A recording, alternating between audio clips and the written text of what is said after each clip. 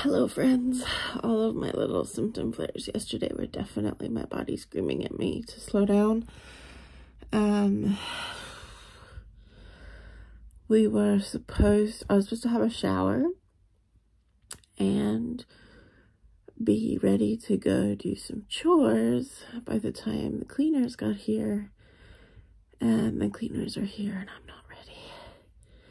I've tried my darndest to get up today and my body is just not allowing it. So Carl and I have rearranged our plans for tomorrow.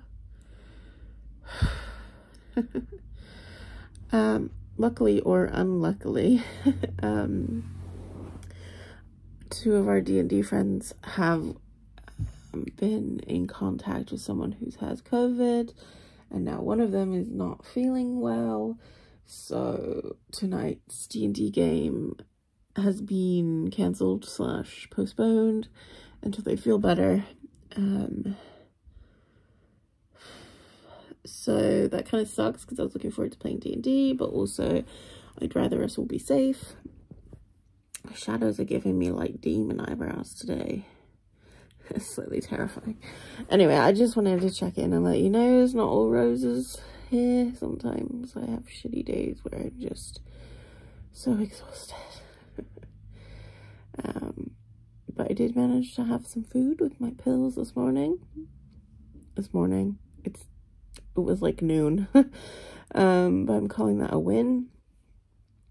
And I have the opportunity to rest. Which I'm also calling a win. See you later.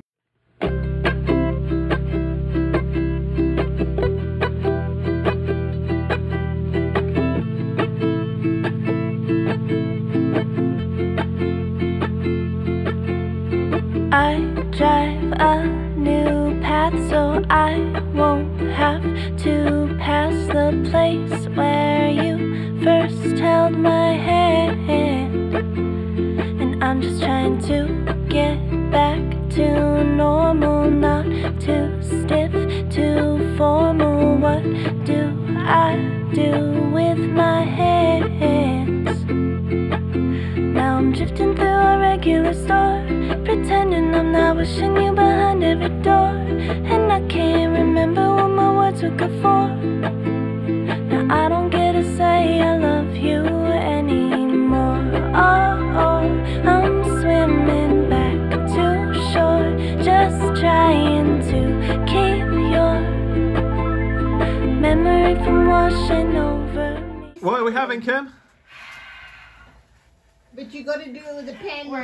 pancakes.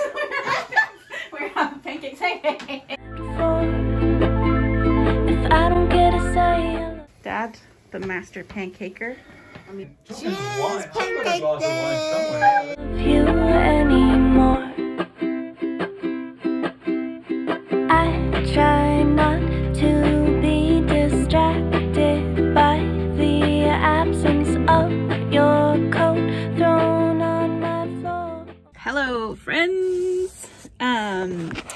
Sitting at my desk today in my very messy, well, getting less messy as the days go on, um, but my messy office, um, which I now share with my editor and also Carl. Carl likes to sit in the shop and work though. He likes being surrounded by the atmosphere while he's doing paperwork, which I totally get.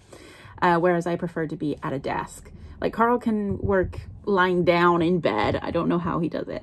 But anyway, that's not what I came on here to tell you about. Um, I just got a message from one of our very lovely customers who um, is just great and I was gonna say like comes back often. I think they've been in once, but you know, they're online all the time. We're always chatting, catching up and stuff. Um I believe they dye their own yarn as well. Anyway, I just got a message from them saying like, hey, I was just on your website and I noticed there was a couple of like Harry Potter photos um on like stuff that's like Harry Potter related on one of your like collections and I was like, what? I missed some? I went through and I had a massive purge of all of our Harry Potter related stuff um, back when J.K. Rowling, um, or She Who Must Not Be Named, came out as being um, like anti-trans. So I did like a huge purge and I decided now's the moment to break away from that franchise and all the fan art that I was doing for them. Well, not for them. That sounds like I was employed by fucking Warner Brothers. I wasn't. Um, but I was doing a lot of fan art inspired by the stories. There you go. Um, yeah, so I figured now was a good time to make the break from it because it's just there are so many things out there hurting trans people right now and i don't want to be contributing even in a such a small minor way um, at all to perpetrating the stories um, which would you know eventually trickle back and support jk rowling um, and she is using her money uh, in a way that i don't agree with.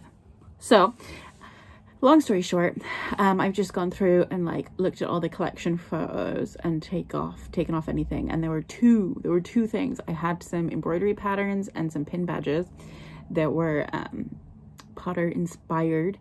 And it's kind of getting me excited to make a new collection of those things. Um, yeah, just to like refresh it. Like the shop has been going for seven years now. We're on our eighth year, I think and yeah it's just sometimes it's good to refresh. Um and i'm really looking forward to being able to use that same style and and vigor and like i feel inspired when i think about painting with um brush and ink which was uh, something that i used for those old fan art projects. And I, since then i've always felt like oh i can't make something in that same style because it's gonna look like it's part of that collection and like Bleh. and like that's stupid. Like i should just do it. Um so yeah i'm looking forward to making some of that stuff. Obviously right now the main thing that we are focusing on is getting our name out there getting more people to the shop because as we're expanding as a business um with uh, new employees and things like that we need to also expand our income. So we need to expand our customer base and things like that. So if you have friends or family that knit or are interested in crafty things, uh, please shout us out to them. Um, it helps huge, hugely. I've probably said this a million times in these vlogs. I feel like I'm doing that every time I vlog, but um, yeah, so working with um, our little editor um, to get more content out to you guys. Um, obviously, I know that Instagram's algorithm is against most small makers, but the more we can put out there, the more likely it is that someone will see something. So we're working hard on that. Um, we've got a shop update tomorrow, which is Sunday, the 6th of March, I believe, at one o'clock. I know it's tomorrow at 1 p.m. anyway, right, right before knit group. I want the shop update to be up by the time the knit group people start arriving. Um, it's kind of exciting because we're all working on like a different part of the shop update, which is something I've never done before. It's usually just me and my computer with my images and my, you know, web shop. And I'm there just like well, for hours away trying to get this shop update up. Whereas like I've got dad processing paperwork. I've got Carl tagging products and uploading photos. And um, he's basically taken the Wool Matters stuff. Um, I don't have it with me, but all of the Wool Matters yarn he's taken under his own steam because he's got um, descriptions written and everything. And he's just like updating photos and putting the products up there, which is phenomenal. And my job is to get these stitch markers up online tonight We've got them here. You're probably tired of me banging on about these stitch markers, but um, yeah, and then Lily is helping make promotional stuff for Instagram, and it's just like boom, boom, boom, everything's happening. It's great. Uh, so yeah, this is a really weird season in business for me specifically because my role is changing from one woman business shop owner to manager and um and that's weird. It's great. I love being a boss. I i love um organizing things. Like i love being a project manager um and stuff like that. So it's great. But it is also really weird because it is also like a very slow season. Like we know that january and february are slow. They're always tight months. They're always when people have spent all their christmas money already They are tired. It's miserable outside. Like it's gray and cold and sometimes raining and no one wants to come out to the shop. Um, so people are staying home and they're they're not thinking so much about knitting because they've just had a big cozy season around uh, Christmas time and the holidays in December and that kind of stuff. So the big wave of wanting to learn new things as well has kind of passed now that we're in the beginning of March. Um, so yeah, so the classes have slowed down a lot and yeah, everyone's kind of hoping spring will come soon. So they like don't want to get invested in like a big Aran jumper or something like that, you know? Uh, and let me tell you, those big Aran jumpers keep the shop running. um, I love it. I love it so much. My favorite thing, we had someone come in today looking for a baby blanket, a pattern and some yarn for a baby blanket. And she left with a pattern and some yarn and everything she needs to get going. And she was really happy. And we found one that she's like excited to start. Um, taught her a few things about finding patterns online and we wound up her yarn for her. And I just like, yes, those are the customers. Like I miss when we used to have loads of those every day.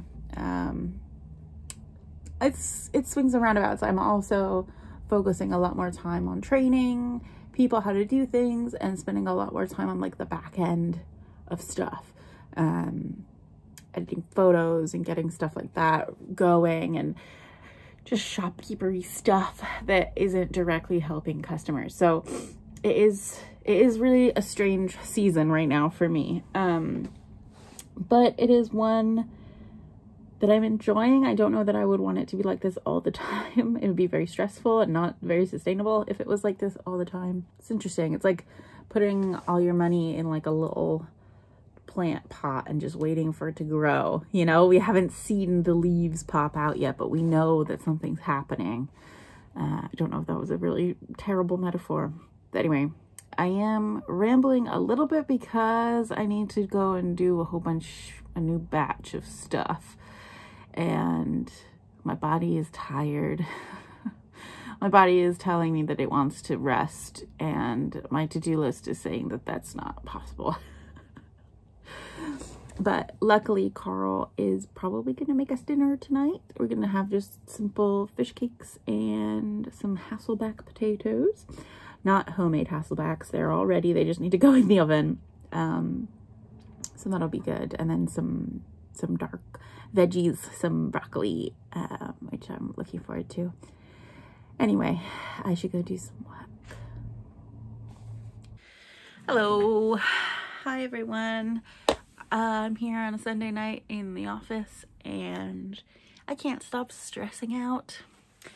Got all these negative thoughts in my brain about the business and um, I just can't I just, I'm really struggling to think my way out of it.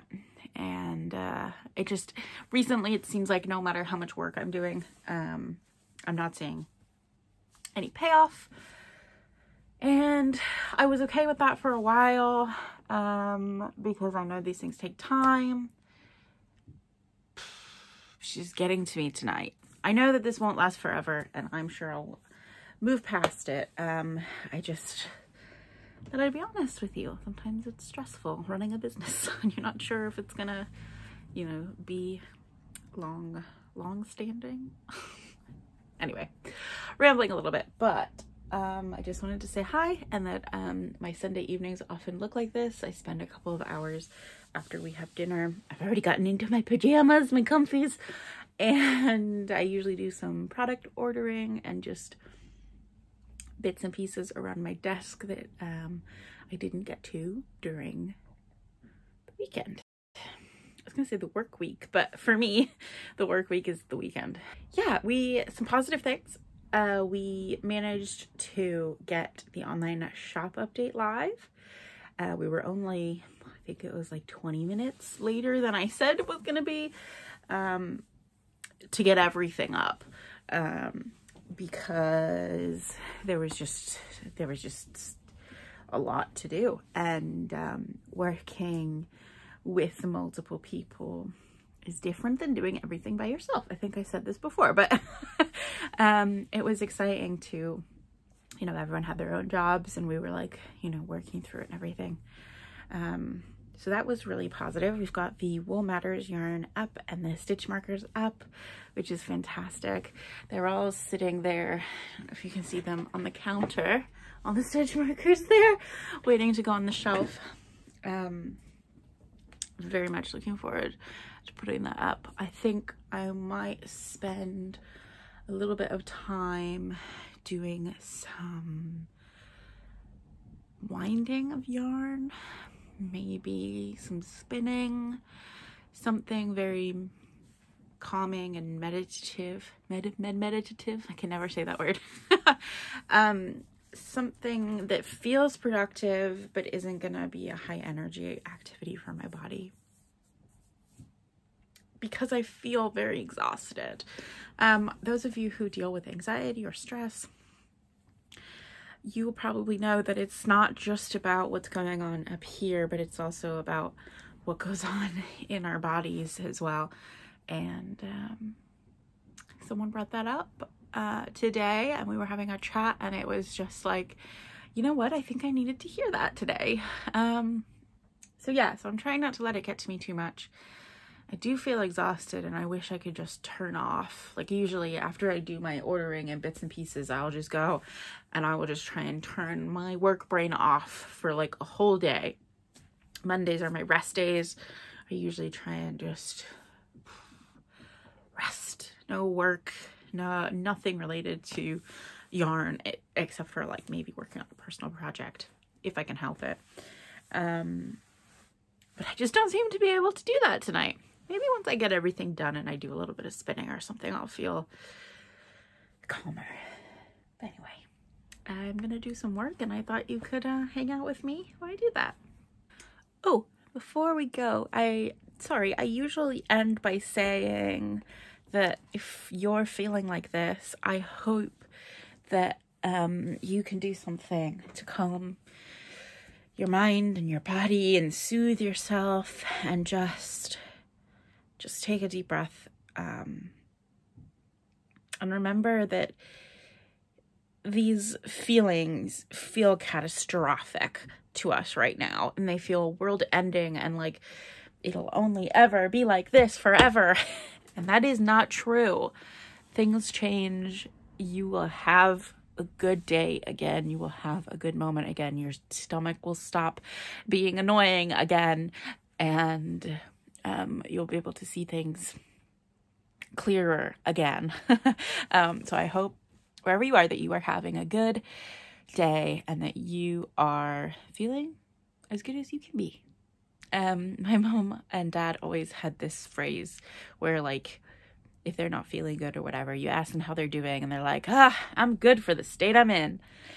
And I, uh, I always quite like that because everyone's good everyone's best is relative to where they are in their life.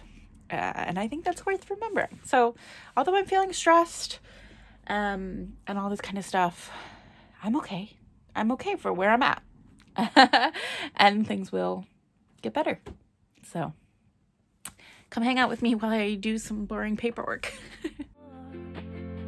but every part of me can't help but see the places should be, the spaces in between our words. Now I'm drifting through a regular store. Hello, everyone. It's what day is it today? Tuesday. Tuesday, and it is Carl's mom's birthday. Yeah. Woohoo! So we have just picked up this amazing gigantic bunch of flowers from the local Kimberley's florist, which no relation to me, um, but they do amazing um, bouquets and we just got like the pick of the day. So anyway, we're gonna go drop them off. I'm not wishing you behind every door. And I can't remember what my words were good for. Now I don't get to say I love you anymore.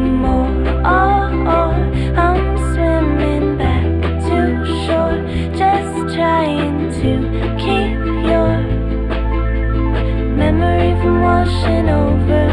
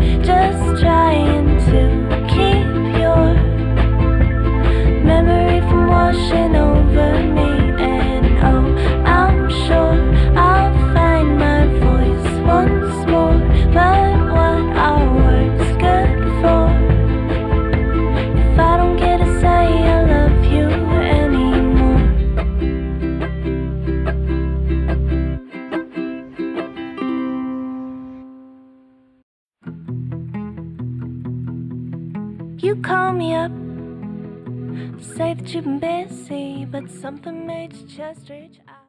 Hello, everyone. Everything is bright and everything is loud.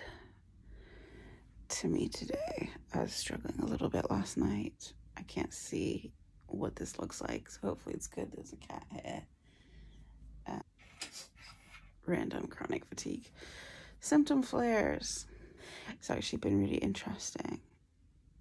Um, when people I know uh, get COVID and they're struggling with the fatigue of it. And they text me, like, how the fuck do you do this every day? And I'm like, it sucks.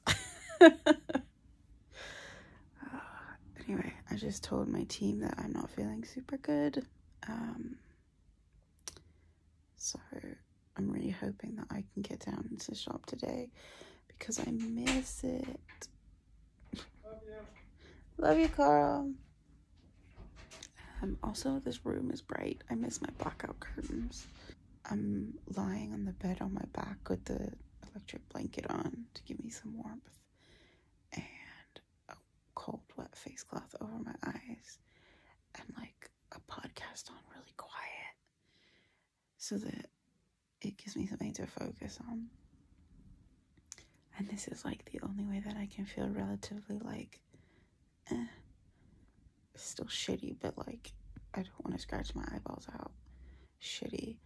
And um, every time I try and move to do something else, like everything just gets worse. So that's fun. But at least I have a cute cat. She's a cute cat. Okay, I'm gonna go do some more resting. But bored of resting. I also got ow. Don't lift that up. That really hurt. a little bit of light. Um, I also got really close to like actually being up.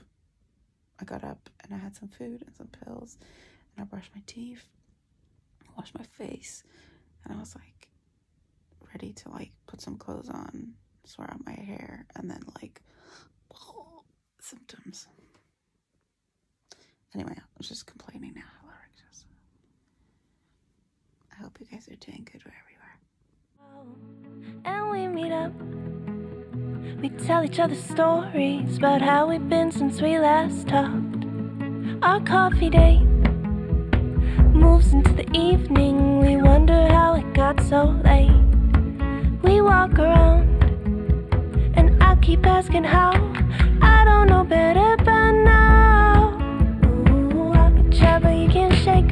I think we're going crazy. Keep saying that we're through, but baby, I'm not over you. We're quick to go attack, but when we split, I need back. And I tell myself through, but baby, I'm not over you.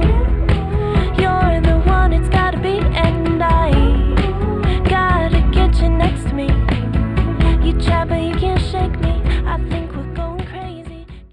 Hey everyone, you may have noticed that I'm up in the barn fiddling with things. Um, I'm struggling a little bit, I gotta admit. Every time I come in here and try and make adjustments, I feel like I'm battling against the sound and the visual component of streaming. And I just, like, I just wish we had a budget that could extend to a better setup. Um, because the problem I have is we have one camera for the players, but we're playing around a table, So that means that no matter what angle I put it at, someone's going to get like the side of their face or um, we're going to get interference from the DM cam. Um, and then we have obviously the cam for the DM, which is fine, but like finding a good place for that on the table that doesn't show up in the screen. Um, yeah, don't even get me started on how we're going to do combat because we've tried an overhead combat camera and we just get glare and everything is like super flat when you're looking at it and there's like no dimension to it so it's hard to see what's going on. We've tried it from the side which looks a lot better but then that camera is also in the table camera shot. Um, we have one microphone in the middle which is a really good microphone. It's an omnidirectional microphone picks everyone up but the problem is the levels. If we're just talking it's very quiet and if we're all laughing then it peaks way off the charts. So i mean i'm not a sound engineer. I didn't go didn't study this at all and uh just it's just hard. Um and all the tutorials that i'm looking at online are for people sitting there with their microphone like one to one um and that's not that's not what we're doing.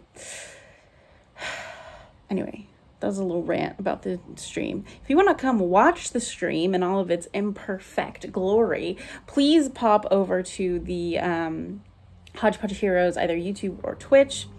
Uh, you can watch us fumble about in real time, which is always quite amusing. Um, and I've just been informed by my lovely partner Carl that the internet's down, um, which is kind of vital to everything we need to stream this is why I'm always in a bad mood when we start streaming because I'm in here for like three hours battling with it before people even get here. anyway, okay, hello. This camera is usually the one we use for the players, for the whole table. Then we have a phone camera that goes in that tripod that shoots the DM. And then we have this camera that comes down from the top that we can use as battle mappy stuff. I'm going to change it around a little bit. I'm going to move that camera over there to be the DM cam. And then I'm going to have a phone cam facing these three seats.